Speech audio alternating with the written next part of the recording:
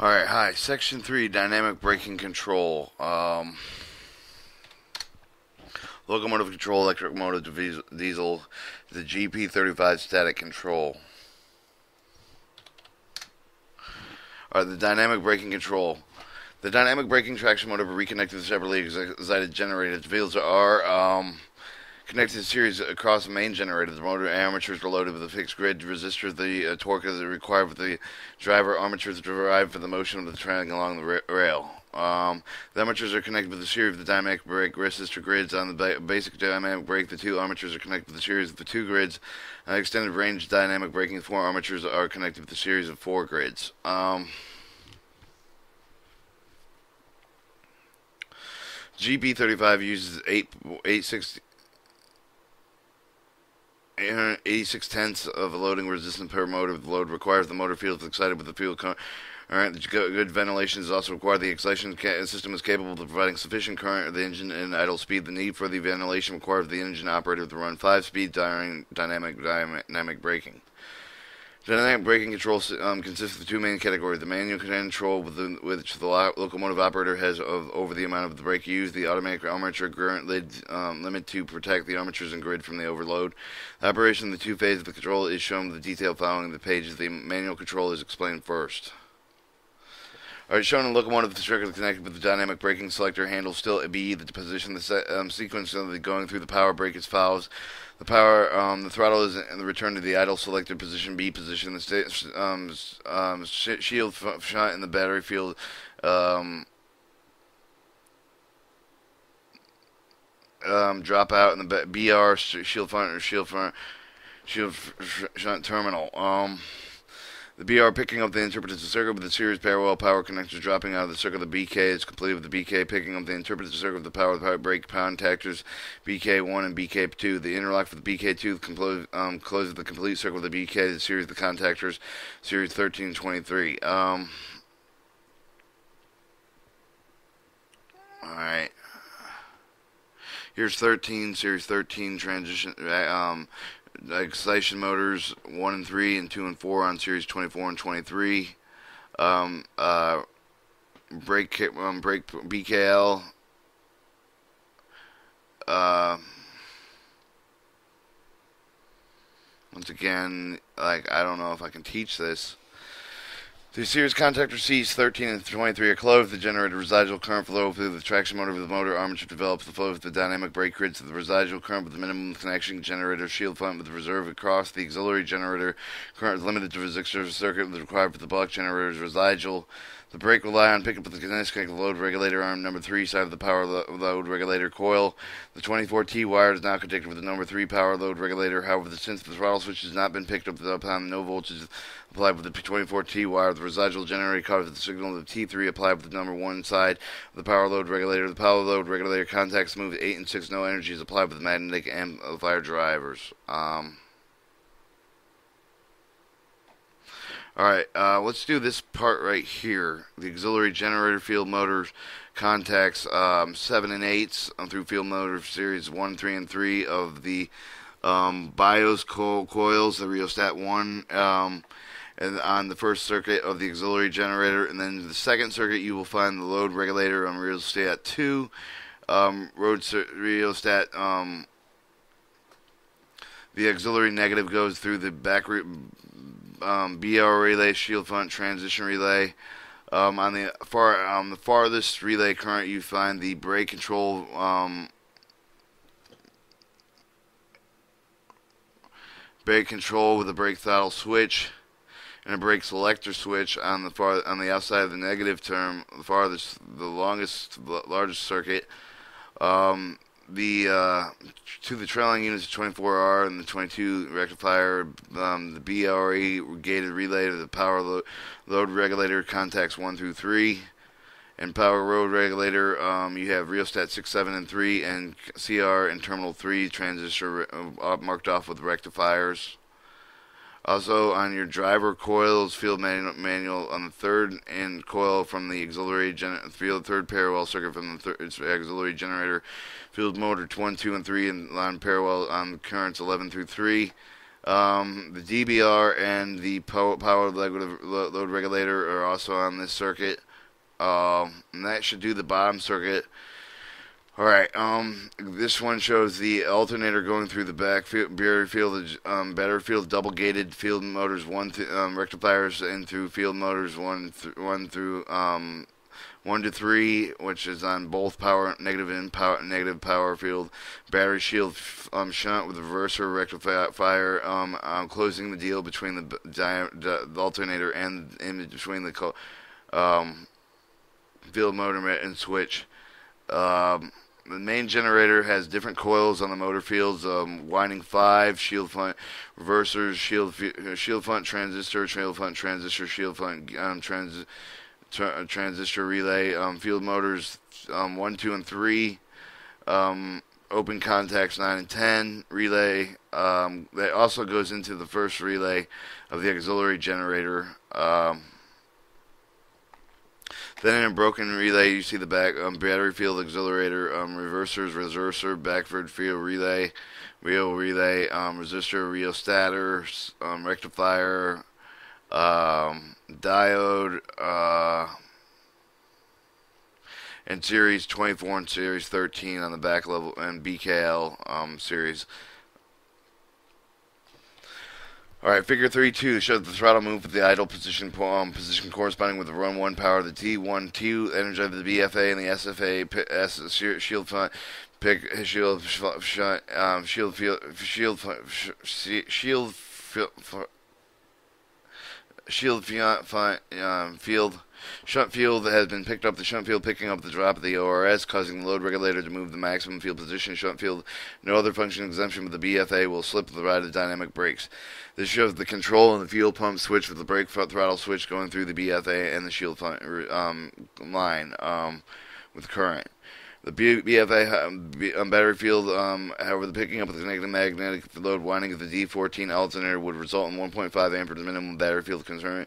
Um, mentioned the conjunction of Figure 1 6 excitation section of the handbook set, uh, since the basis coils are still excited with 135 to 160 amperes.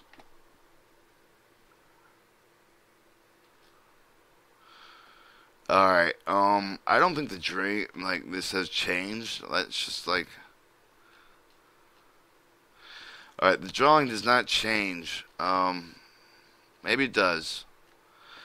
In the minimum brake position. Um...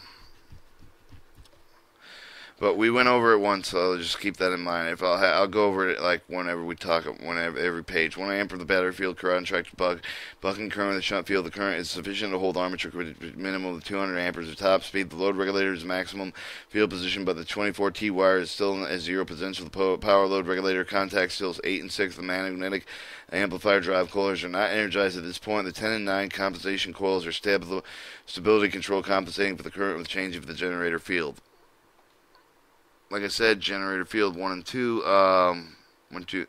Main generator, you have your diode, your auxiliary generator. Um,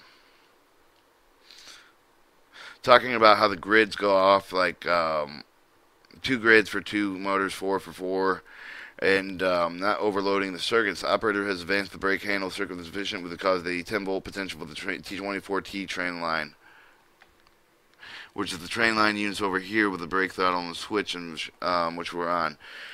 The 10 volts ampere with the dynamic braking Zener, Zener, Zener, Zener, um, Zener does not conduct the 25, 24 5 volts supply, but the current flow with the Zener resistor, resulting in the voltage of the number 3 terminal of the power load regulator can coil with value of less than 10 volts. The um, function of the di zero Zener diode prov provides a software application, dynamic brakes, and brake throttle handle to move slightly. This allows the train under the conditions of the train weight and track grade to maintain the desired high track speed within the dynamic braking. Alright, so there's your diode in between the, the 24T wire. Well, the signal of the 24T wire is higher than feedback applied with the number one terminal. Um, number one terminal over here by the power load regulator. Um, uh, applied with the number one terminal power load regulator contacts and the 8 and 2 with the um, contacts. Um, so, also through this power regulator, power regulator um, you have your 8 and 9 contact relays going through the break or is BR Uh, that might be a diode. Um, traction motor field current increase the field back, increases the high voltage high enough that the AT contact power load regulator open. The two contacts oscillate between open and closed, regulating motor field strength. Alright, so the regulator field motors 1, 2, and 3 inch shot, and also the are getting regulated. See the accelerator, the regulators, um, the, rel the relectors re um, regulating field motors 1, 2, and 3. Um, the original less voltage across number 4 grid resists the um, dynamic braking re relay um, operating valve. The dynamic braking relay not operating set with the regulated with 700 amperes through the grids. The dynamic brake relay contains 8 to 2 closes, 8 closed and two, 8 to 2 closed. Reaction taking place in the shunt field circuits will be dealt with later. After making sure all the train slack is bunched, operators should condition figure 3 4s move the control handle slowly, maximum brake position. This results in 50 volts applied to the number 3 terminal brake load relay coil. The battery field of the current increases the potential proportional until the motor field excitation reaches the level of the resulting 700 amperes current. So we're over here on the um, brake load regulator 8 and 3. Uh, 8 and 3 field motor regulator um, first to the auxiliary generator um, to the right of the first parallel connection um, the auxiliary regulator from the power regulator um, coil. Alright, 700 amperes current result with a voltage of 3 to 310 plus or minus 5 across the one of the resistors in number 4 grid, which this voltage drop the dynamic braking re, um, relay circuit the RH10 is properly adjusted with 50 volts applied with the zero arrow di um, diode.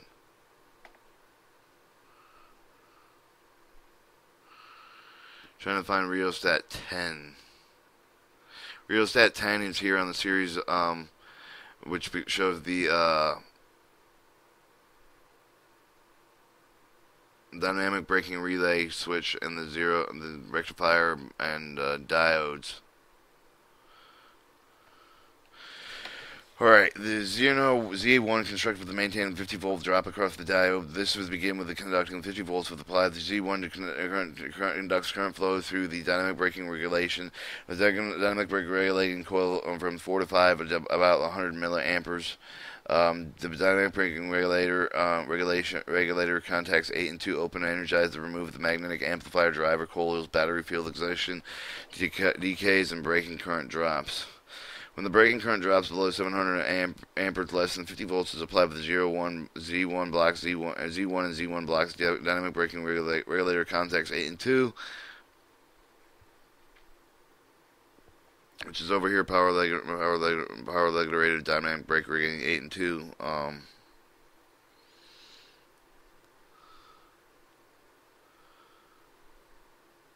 and your Z1 diodes on this circuit for the um, before it goes into the um to the series 1324 um of your traction motors, which are called the grids.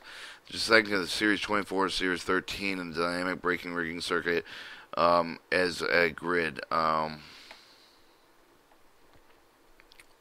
The condenser of the dynamic braking regulator capacitor capacitor circuit provides anticipation smoother voltage peak, resulting smoother operating regulator. Um,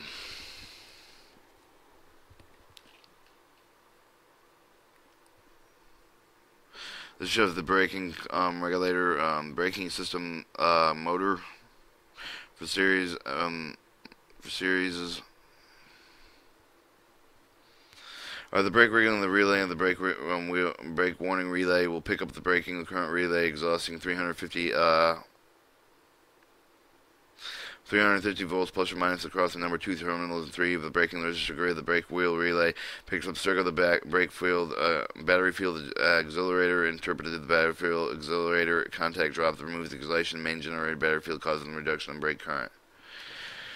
The E and F contact the brake field accelerator, um, battery field accelerator, um, close the insert of the RE61A of the back brake wheel relay. This the recalibrates the back wheel relay to 290 volts plus or minus 10 volts. The voltage across the number two, the number three terminals of the grid. Number four, brake current with less than 700 amperes. The brake field and the energies picks up the energized battery field and simple uh, mod modulation battery field current for the reaction taking place the shown explained in the following text.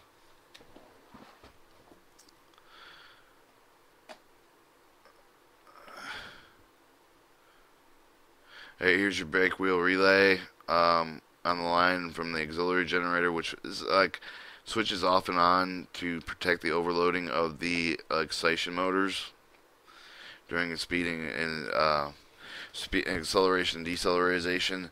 Uh, mod mo modulation of the battery field current occurs normally under the four conditions: power, power load regulator, dynamic braking relay, power brake wheel relay, wheel slipping action. Each of these conditions cause the change excitation main generator battery field. Assuming the, the power regulator, dynamic braking, and the brake field accelerator contacts contact the having open decrease the battery field excitation.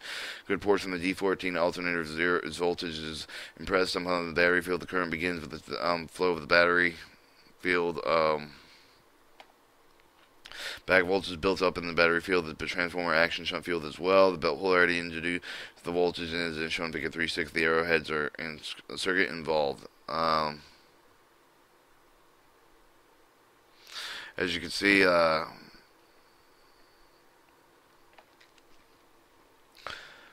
um, the voltage included with the shunt field curve, the current of the train, the field, um, third reactor winding 10 and 9 with the current opposed to the um, current 11 12 drive closed increase the impedance of reactor. This course limits the flow of the current battery field stabilizes the system rap response rapid to the battery field, field current. Compensating effect weaker with the driver signal net result of the building up of the current battery the buildup of the current battery field through the motor field of the motor armature slow with the reactor compensating the winding Figure 3-7, the assuming the, that the, either the polar regulator, of the dynamic braking relay, or the battery field accelerator contacts have been opened and decrease the battery field excitation current. The compensation effect shown in Figure 3 takes place by additional action that occurs the ensure stable regulation of the dynamic braking current is 700 amp amperes. Um, a normal armature central ride with the voltage drop across number 2 and number 3 terminals grid. Number 4 is all right. The rising voltage of the capacitor connected with the parallel RE69 and D1 is the changing current together with the resistor current with the result of the parameter highly dynamic braking coil relay current coil current the dynamic braking relay pick up the system overshot by the interrupting current with the magnetic amplified driver coils limiting barrier field as the capacitor has become charged with the charging current, no longer the dynamic braking relay coil with the coil current, but is independent upon the zero current. The operating point of the dynamic braking re relay rises to 700 amp. The capacitor becomes charged with the 700 amp. The Z1 contact with the dynamic braking relay will pick up the current with the RE69 and RH10. The anticipation effect together with the compensation result for the dynamic braking re- uh, function with little no overshot. This, this effects taking place with the normal operation during the wheel slip recovery and its accidental mishandling of the um, operator. The anticipation effect. All right. Um, over here you see wheel slip um, number 24 and 13 for the uh, series round and um, and you have your zero diodes going to the dynamic wheel braking relay. Um, brake wheel relay, relay and dynamic braking relay. And this is the this is your trucks right here, the traction motors. Um, this goes into the switches. Uh, as you can see, this is on the auxiliary generator side of the thing. So um, um, see field motor 1, 2, and 3, field motor driver coils 1, 2, and 3, um, short field shield front tran, um, terminal uh, trans transducers re, um, gutted in before the main generator, um, closed gates. Uh, during the dynamic braking, the CD coil, the wheel slip relay, the wheel, um, wheel slip RWS. Uh, connected across the traction motor field, but the motor fields have uh, have because even the motor field current with the motor, main generator voltage um, high enough to bring it back pick with the wheel, pick up the wheel slip and the wheel will slip generated excitation, reducing the back barrier field exhaustion BFA right here. Um,